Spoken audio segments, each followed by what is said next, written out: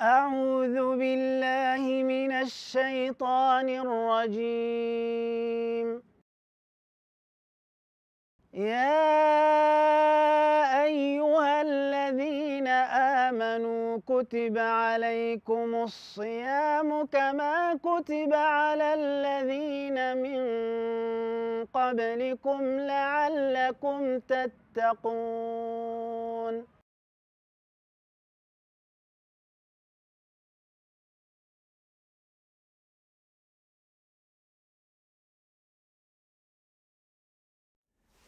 بسم الله الرحمن الرحيم الحمد لله رب العالمين والصلاة والسلام على سيد المرسلين سيدنا محمد وعلى آله وصحبه وسلم تسليما كثيرا السلام عليكم ورحمة الله وبركاته This is part three or the concluding episode of this lecture dealing with the secrets of the fasting from Imam Ghazali's Ihya Ulumuddin, or based on Imam Ghazali's Ihya Ulumuddin. So, in the first episode, we talked about the fasting of the ordinary folks, Samul Umum. So, the fasting of ordinary folks, and that's a fast that's, uh, that focuses on fulfilling the legal requisites of the fast, that being specifically uh, avoiding anything that will break the fast involving eating or drinking or sexual relations uh, during the daytime of Ramadan. So we, we talked about that and the, port- the importance and foundational nature of that. Breaking that fast involves consuming something that will break the fast or engaging in relations uh, with the opposite gender that would break the fast. The second fast we talk about, we talked about rather during the second episode was Sawmul Khusus, the fast of those who are trying to distinguish themselves, elevate themselves spiritually. And that fast was refraining or restraining the limbs from sin, restraining the tongue, restraining the eyes, restraining the, the ears, and all of the limbs of our bodies from engaging in sinful behavior breaking that fast, which would not legally necessarily break the fast, but would violate the spirit of the fast and the etiquettes of the fast, would be involving in those sinful behavior of telling a lie, backbiting, slandering, looking at, at some illicit material. That would break the fast of the khusus.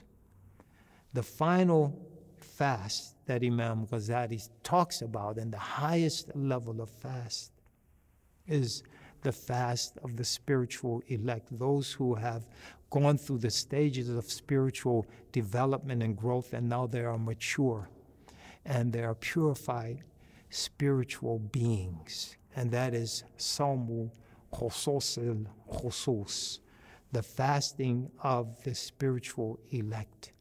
That fast, my dear brothers and sisters, as Imam uh, al Ghazali reminds us, that fast is to refrain, is the fast rather.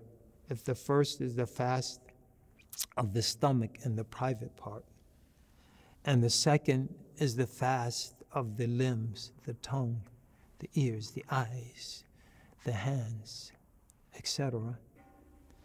This fast is the fast of the heart is the fast of the heart.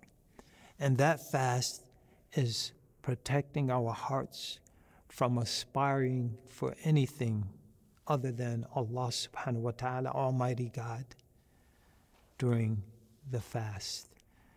This fast, the fast of the heart, is allowing our heart to think of, to reflect on anything other than Allah subhanahu wa ta'ala, Almighty God.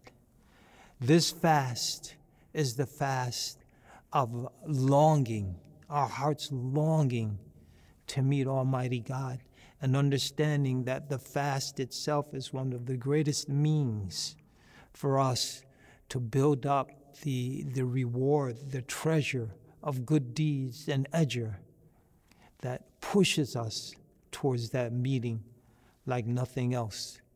This fast is the fast of the heart. My dear brothers and sisters, the fast of the spiritual elect is a fast that we strive to move towards. That first level of fasting we mentioned, we convert. I'm a convert to Islam. We convert to Islam and we try to do everything right legally.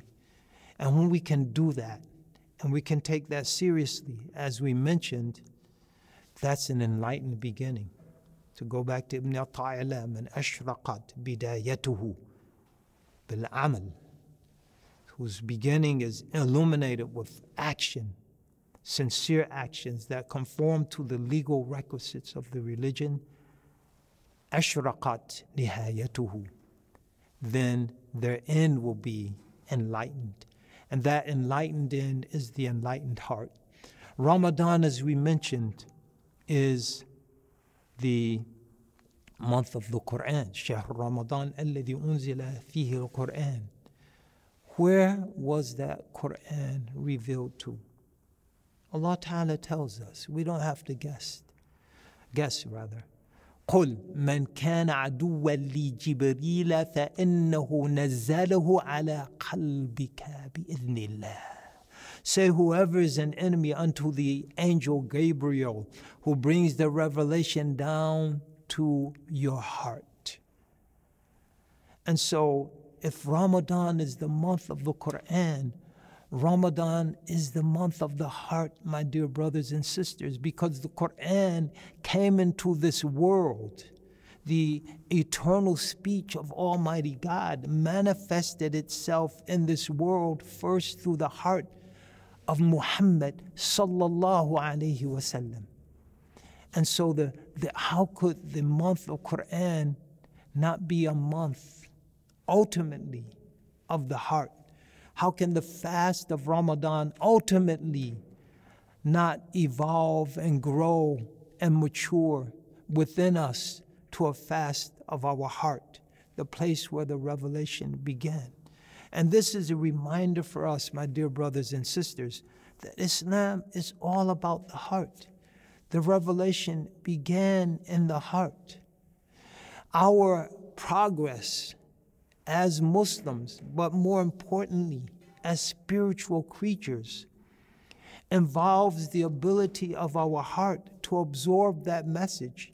Those who took it from the Prophet, peace and blessings of Allah be upon him, they're not called students, muta'allimin, darisin, tulab, talaba. They're not called students, they're called companions, as-sahaba. Why is that? Because they were those who were in his physical presence, and being in their physical presence, that revelation which enlightened his heart, the light of that revelation can, could spread and touch their hearts. And therefore, our Prophet wasallam is described in what way? Yes, he was a witness. Ya ayyuhan nabi, إنا أرسلناك شاهدا ومبشرا ونذيرا وداعيا إلى الله بإذنه وسراجا منيرا O Prophet, we have sent you as a witness, as a giver of glad tidings, and as a warner, as one who calls to the path of Allah by His command, wasiraja munira, and as a luminous lamp. He was a light, brothers and sisters. And that light emanated from a heart that was illuminated by the Quran. And that Quranic light, which shone from his heart, it touched the hearts of those in his vicinity. And that's why they're called companions. They shared his physical presence, therefore, they shared the light that emanated from his heart and that light illuminated our hearts, just as that siraj and munira, a candle, a lamp can light an infinite number of others. We could bring one candle after another, dip it into that light, and it's lit. And the next, and the next, and the next, and the million, and the billion, and the trillion, and they're all illuminated, and it never diminishes from the intensity and the luminosity of the original light. And so that light shines on, brothers and sisters. It shines on through us. And it's enhanced in Ramadan. It's enhanced in Ramadan. And as we go Ramadan after Ramadan, and we strive spiritually, and we strive to engage in the fast of the khusus, and we mature, our hearts are capable of undertaking that final fast. Samu khusus il khusus, the fast of the spiritual mature and elect. And so we focus on Allah subhanahu wa ta'ala. We strive for Allah subhanahu wa ta'ala. We fill our tongues with the words of Allah subhanahu wa ta'ala. We fill our tongues with the remembrance of Allah subhanahu wa ta'ala. And if we're successful, we don't miss that television that we turned off. We don't miss participating in those gossip rooms that we refrain from. We don't miss listening to the boogie woogie bugle boy of Company B. We don't miss any of those things that distract us from Allah subhanahu wa ta'ala. And we focus on this during Ramadan. And like all other aspects and levels of our fasting, this makes it all the, all the easier for us when Ramadan ends to carry those good habits forth. To carry those good habits forth. When we can refrain from those things that are lawful, good, and pure during Ramadan. The legal fast refrain from the mufattirat, those things that will break our fast of fuel, food, and drink and relations. How much with our lawful spouses? How much easier is it to refrain from forbidden things once Ramadan passes? If we can refrain during the month of Ramadan as we engage in the fast, Sawm Khusus, of refrain, restraining our limbs, restraining our eyes, re- restraining our ears from dealing with, listening to, looking at those things that are forbidden during, during Ramadan. How much easier once Ramadan passes to refrain from those things because we've gone into intense training. And if our hearts during Ramadan can be filled with Allah subhanahu wa ta'ala, filled with the remembrance of Allah, filled with the Quran, the words of Allah, filled with the focus on the pleasure of Allah, filled with taking every opportunity to seek the pleasure of Allah and paradise. And to any prayer that we make. And Ramadan's a time, a special time, and a, a, a, a special blessed time sharf zaman, when our prayers are answered. We pray whatever we pray for. Let us conclude that and complement that with a prayer for the pleasure of Allah in Jannah. Ya Allah, barik lana. يا الله أعطينا النجاح والفلاح في هذا وذاك ويا الله إني أسألك رضاك والجنة Ya Allah, I ask you for your good pleasure and for paradise. Ya Allah, inni as'aluka ridaka wal jannah. Ya Allah, I ask you for your good pleasure and I ask you for paradise. Ya Allah, inni as'aluka ridaka wal jannah. Ya Allah, I ask you for your good pleasure and for paradise. And this becomes our wird, if you will during Ramadan, how much easier outside of Ramadan will it be to continue that practice and hopefully till the next Ramadan and then the next, and it becomes Ramadan reinforcement and then sustaining during the year. Reinforcement during Ramadan, sustaining it throughout the year until not just Ramadan, but our entire life and all of our time is filled with longing for Allah subhanahu wa ta'ala, is filled with listening to and reflecting on the words of Allah subhanahu wa ta'ala, is filled with remembering the names of Allah subhanahu wa ta'ala, is filled with the remembrance of Allah subhanahu wa ta'ala, and that longing and that involvement and that commitment translates into the love of Allah subhanahu wa ta'ala. translates into the love of Allah subhanahu wa ta'ala, then our life has been actualized in terms of actualizing the essence of our being, the dis- thing that distinguishes us. As we mentioned in the very first lecture, the thing that distinguishes us from the animals, our spiritual essence, will have been actualizing. And in actualizing and then making permanent that distinction, we would have actualized our true humanity. And this ultimately, my dear brothers and sisters, this is the ultimate objective of the fast. It started in the heart of the Prophet, sallallahu alaihi wasallam, as we struggled and grew. Our hearts were involved in that process of transformation, as our Lord mentions in the Quran. Uh, in the Quran, أفلا يتدبرون القرآن أم على قلوب أقفالها Do they not reflect and ponder on the Quran? Or are their hearts sealed? The heart, Prophet's heart, sallallahu was open, and so it was reflective to that Quran.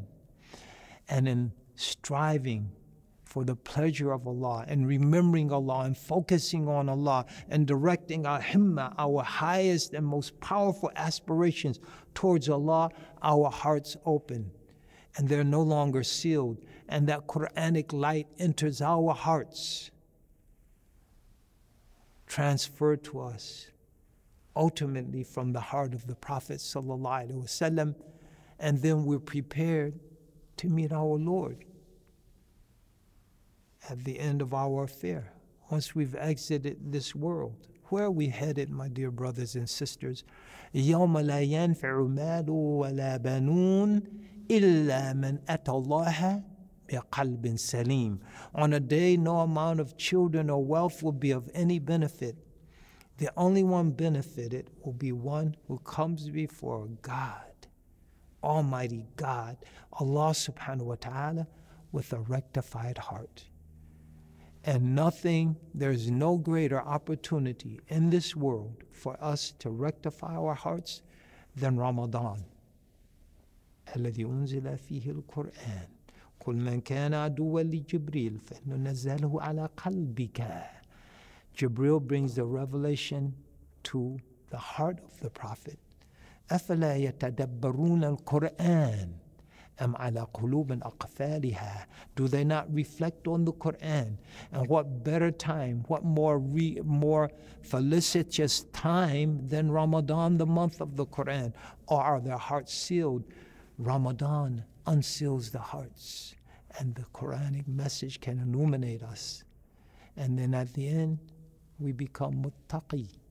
And what is the muttaqi? Where's taqwa?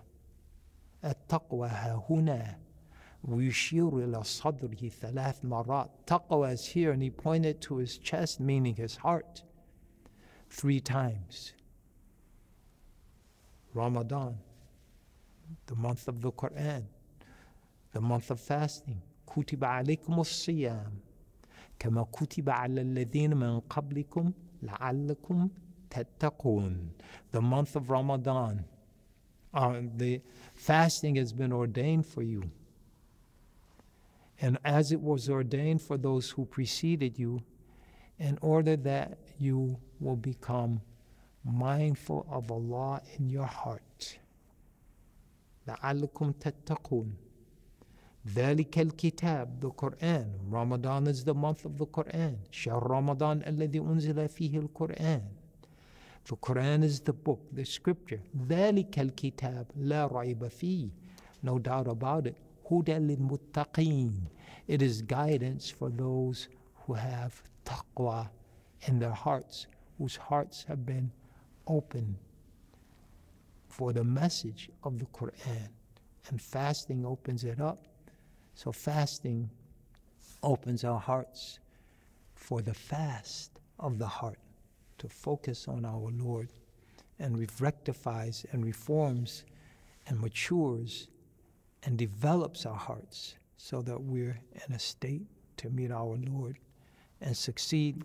This is Imam Zaid Shakir. This concludes our reflections on the secrets of fasting based on the Ihya Ulumuddin, revival of the sciences of religion by the great, great scholar Imam Abu Hamid Muhammad bin Muhammad al Ghazali. May Allah have mercy on him. May Allah bless us to continue to benefit from him. May Allah Ta'ala bless Zaytuna College to be an institute dedicated, amongst other things, to the preservation of the Ghazalian legacy in the world. This is Imam Zaid Shakir. Assalamu alaikum rahmatullahi wa barakatuh. We've been honored to share these reflections with you. And we pray that we can do them, uh, can do this again. May your hearts be blessed and may your hearts be enlightened. Assalamu alaikum wa rahmatullahi wa barakatuh.